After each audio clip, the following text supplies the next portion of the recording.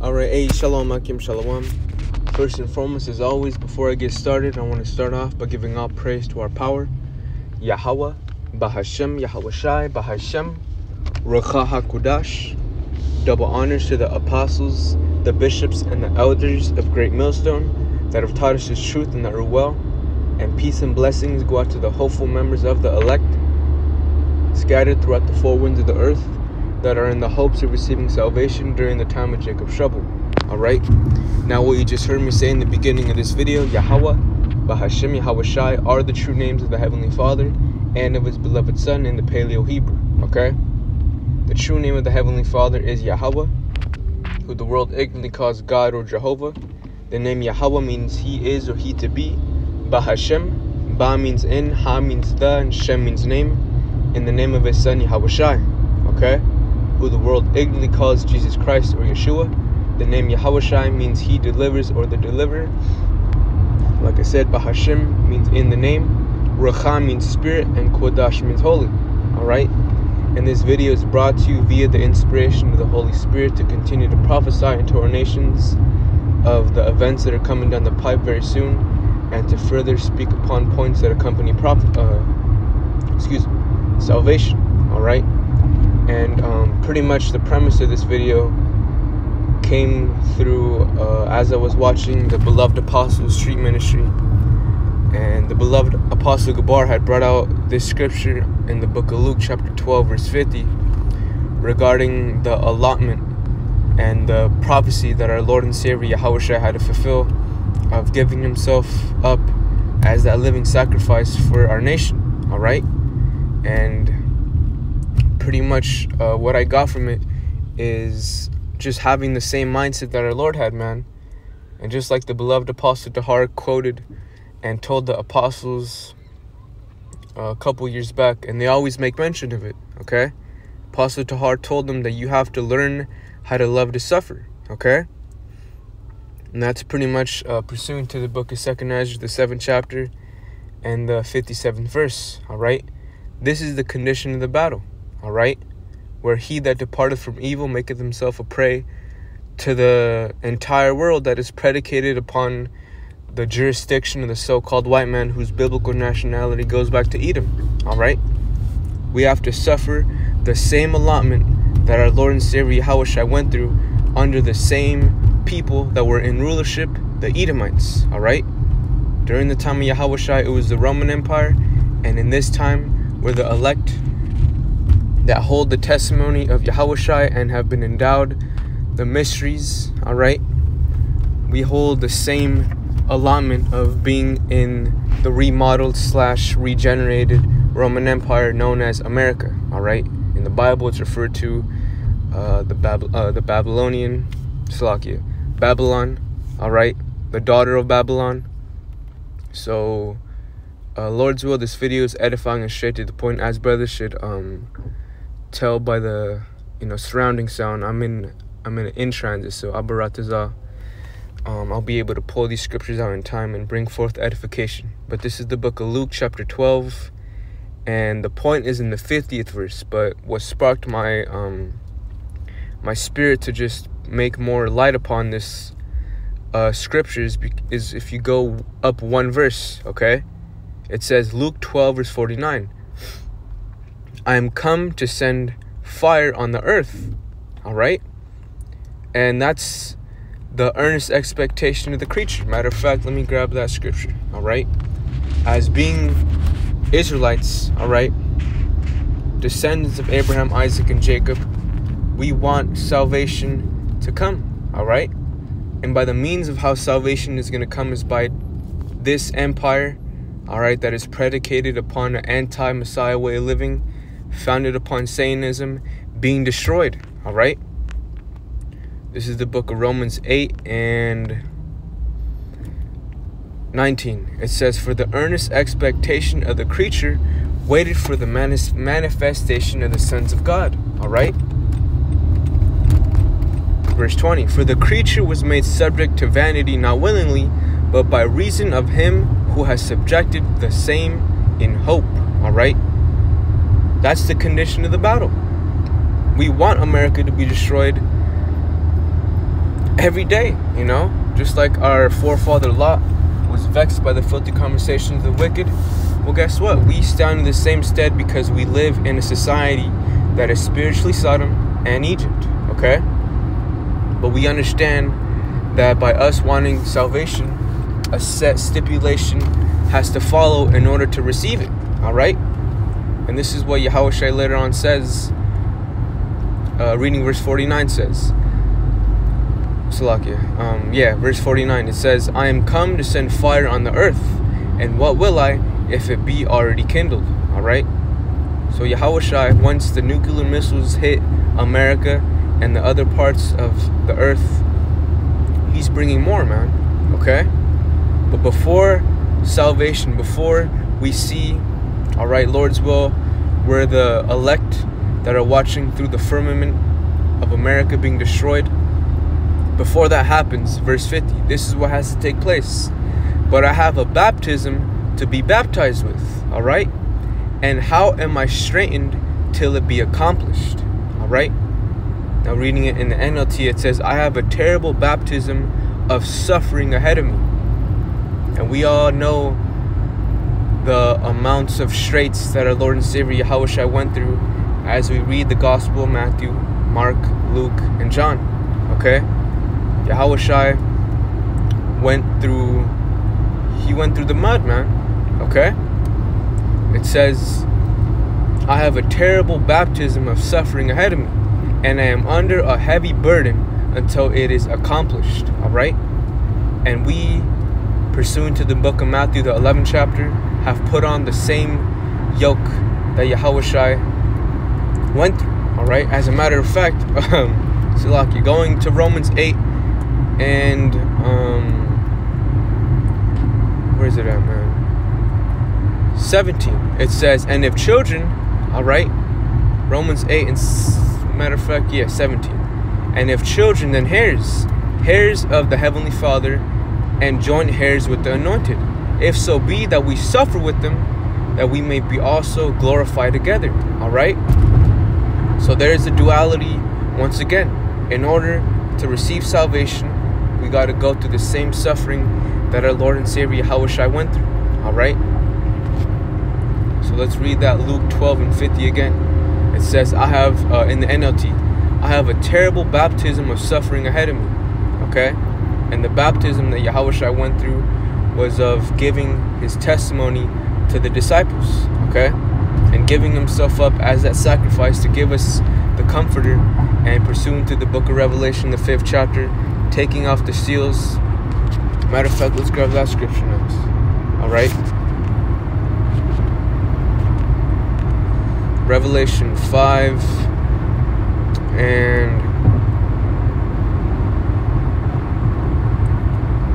5 it says and one of the elders said unto me weep not behold the lion of the tribe of Judah the root of David has prevailed to open the book and to loosen the seven seals thereof and I behold, Salaki, and I beheld, and lo, in the midst of the throne, and of the four beasts, and in the midst of the elders, stood a lamb as it had been slain. Okay? Having seven horns and seven eyes, which are the seven spirits of the Heavenly Father sent forth into the earth. Okay? Which is symbolic for the churches, like it tells you in the book of um, Revelation, the um, the first chapter. All right, around the last couple verses there, if I'm not mistaken it says, verse 7 And he came and took the book out of the right hand of him that sat upon the throne. And when he had taken the book, the four beasts and four and twenty elders fell down before the Lamb, having every one of them harps and golden vials full of odors, which are the prayers of the saints. Alright? And they sung a new song, saying, Thou art worthy to take the book and to open the seals thereof, for thou wast slain and has redeemed us to the Heavenly Father by the blood out of every kindred and tongue and people and nation. Alright? And has made us unto our power kings and priests, and we shall reign on the earth. Alright? So that sacrifice that our Lord and Savior Yahushua is very crucial, man. Alright? Because without it, we would, just like it tells in the book Isaiah, the first chapter, man, if it wasn't for the sure mercies, uh, you know, loosely paraphrasing it. I'm not saying it uh, word for word, but if it weren't for the Heavenly Father having that characteristic of being compassionate and merciful to His nation, we should have been likened unto Sodom and Gomorrah, man. All right, a monument to the rest of the world of a disobedient nation. Okay. So at the end of the day, having that understanding of what our Lord and Savior did for us should really continue to give us um, more passion to continue to endure harness as a good soldier. You know, that's what puts more coals to our spirit, so to speak, to continue to keep our fire going. All right, continuing to endure the tribulations that go our path, and understanding that just how our Lord and Savior Yahweh was made perfect through suffering is the same process that we're going through right now. Okay? So from there, I want to go to the book of um, Psalms 123 and starting at the top. It says, A song of degrees unto thee lift, I'm sorry, uh, a song of degrees, all right?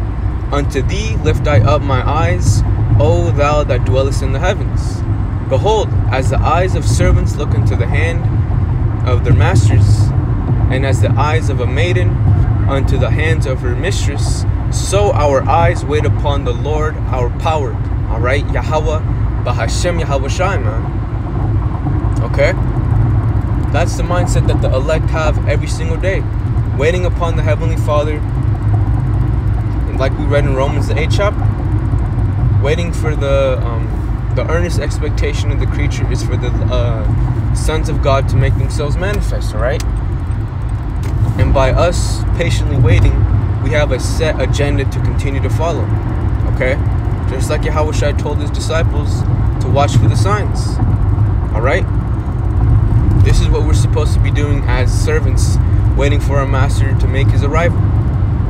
It says, So our eyes wait upon the Lord our power until that he have mercy upon us. Have mercy upon us, O Lord. Have mercy upon us, for we are exceedingly filled with contempt, okay?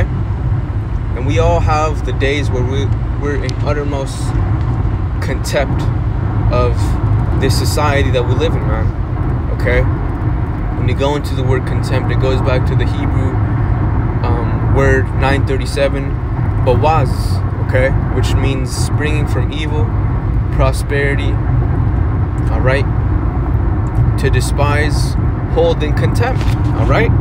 every single day we got to deal with that burden of living another day in this uh, you know society predicated upon nothing but folly man all right but once again we gotta have the same mindset that our lord had okay of understanding that look we're here on a simple mission and that is to do the will of our father okay and in this time that is doing the bidding of yahweh shai okay? To go out in the highways and byways, bidding the nation of Israel to the marriage and gathering up his lost sheep, okay? And continuing to have, excuse me, the same mindset as our Lord, man, okay? This is the book of Philippians, chapter 2, and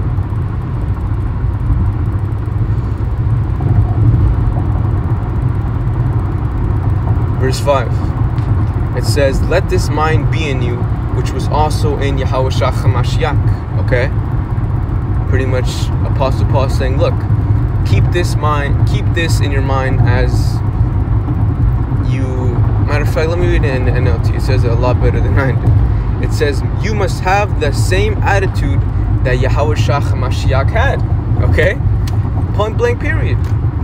Verse 6, uh, jumping back to the KJV, who being in the form of the Most High, thought it not robbery to be equal with the Heavenly Father. Alright? But made himself of no reputation. Rightfully said, man. Okay? Just like Apostle Paul wrote uh, to the Church of Rome in the 11th chapter. Okay? The reason as to why we've been enlightened to this truth, the whole means as to how we have the understanding of us being Israelites is by grace, man, not by our own works. Because if it was, then grace would be dead. Okay. So at the end of the day, boast, being in that boastful spirit, is something that you got to check yourself on. All right? If you have that kind of spirit, examine thyself. Okay? It says, verse 7 again from the top, but made himself of no reputation, and took upon him the form of a servant, and was made in the likeness of men. Okay? Once again, building our spirit likewise to how our forefather moved when he was in the flesh, okay? In the likeness of a man. Verse 8 And being found in fashion as a man, he humbled himself and became obedient unto death, even the death of the cross. Alright? And once again, tying in to the allotment of how the elect have to fulfill prophecy in this time, we're walking in that same position. Alright? Of having to be martyrs for the name and the testimony of our Lord and Savior Yahweh Bahashem Yahweh Shai. Okay? But once again, having the same mindset of our Lord. Okay? Verse 9 it says, Wherefore the Heavenly Father also has highly exalted him and given him a name which is above every name.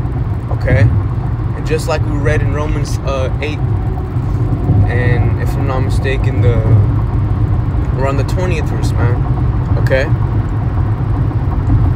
For we can't reckon the amount of glory and status that the Heavenly Father, through His Son Yahweh is going to give us for the suffering that we're going to go through. Okay? It's going to be incomparable to the amount of glory, man. Alright? And by you having that mindset as you continue to walk and conduct yourself in this valley of dry bones, it gives you a sense of peace, man. Okay? Always going back to the comforter and understanding this is the walk of an Israelite man. Alright? Fearing the Heavenly Father and keeping His commandments and not bucking against anything that the Heavenly Father has commanded us to do, man. Alright? As well as not bowing our knees to anything that this society has to offer. Okay? Of course, we do what we got to do in this world. We subject ourselves to the higher powers. But at the end of the day, when it comes to our relationship with the Heavenly Father, we're not going to let nothing get in the midst of that and compromise what we have with the Most High, man. Okay? Reading verse 9 again, it says, Wherefore the Heavenly Father also has highly exalted him and given him a name which is above every name, that at the name of Yahweh Shai every knee should bow of things in heaven and things in earth and things under the earth. Alright? Verse 11, and that every tongue should confess that Yahweh Shai HaMashiach is Lord, to the glory of the Heavenly Father, I'm sorry, to the glory of Yahweh the Father. Okay? And that, in essence, once again, is the mindset to have. Everything that we, you know, we get from the world, whether it be some kind of kudos or something, we thank the Heavenly Father, man. Because once again, it's by grace that we are where we are right now, man. Not of our own works at all. Okay? We're just simply, we're vessels that the Heavenly Father has sought to fulfill His will verse 12, and I'm going to close with this one. It says, Wherefore, my beloved, as ye have always obeyed, not as in my presence only, but now much more in my absence, work out your own salvation with fear and trembling. All right? And this is the attitude that we should have, if not all, all, every day, man. All right? Every day we should have this spirit upon us as we conduct ourselves in the valley of the shadow of death, bro. Because, once again, weighing everything in the balance, we live in a society that is contrary to the doings of the Heavenly Father.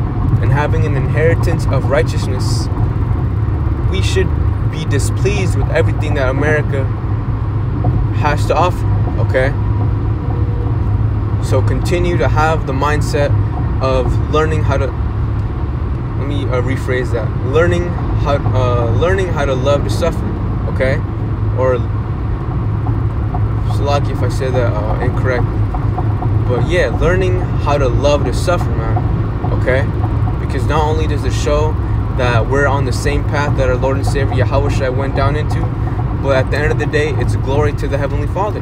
Okay? It's a pleasing scent to the Heavenly Father's, uh, you know, nose. All right? Just like back in the day with the uh, temple, we would give sacrifices for sin. All right? Well, in this time, the sacrifice that we're putting forth is ourself. All right? Neglecting the lust of the flesh and ultimately neglecting what we want to do. All right? So with that, Lord's will, this video is edifying straight to the point. I just wanted to say a couple words on uh, that beautiful scripture, man. All right? We're in the same state as Yahweh We're going to catch hell every single day.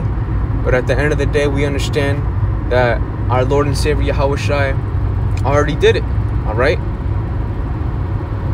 So with that, giving all praise to our power, Yahweh, Bahashem, Yahweh Shai, Bahashem, Ruach HaKodash. Double honors to the apostles, the bishops, and the elders of Great Millstone that have taught us the truth and the Ruel. And peace and blessings go out to the hopeful members of the elect scattered abroad the four winds of the earth.